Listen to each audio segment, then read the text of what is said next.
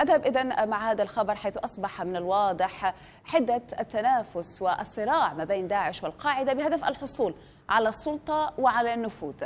في لقاء خاص مع أخبار الآن قال سعيد الجمحي خبير في شؤون الجماعات المتشددة إن مصير هذا الصراع بين التنظيمين هو الاقتتال مؤكدا أن طموحات داعش هي أكبر بكثير من القاعدة.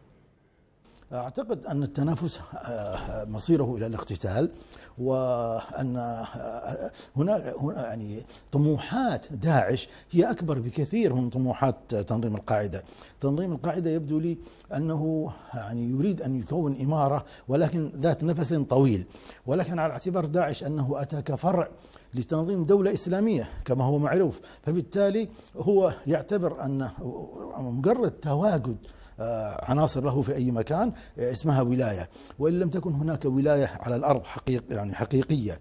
أيضا تنظيم داعش الآن يحاول أن يستقطب عناصره من عناصره ويجتذب طبعا في المجال الأول أو في المقام الأول من تنظيم القاعدة على اعتبار أن هؤلاء جاهزين ولا يحتاجوا إلى خطاب يجهزهم نحو التشدد.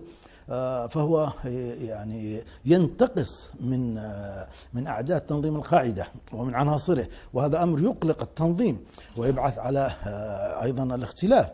وهناك عدة عوامل تؤشر إلى أن التنظيم تنظيم القاعدة وداعش سيكون حتما مصيرهما إلى الاقتتال وهذا أيضا سيؤدي إلى مزيد من الفوضى كما هو حاصل في العراق وسوريا.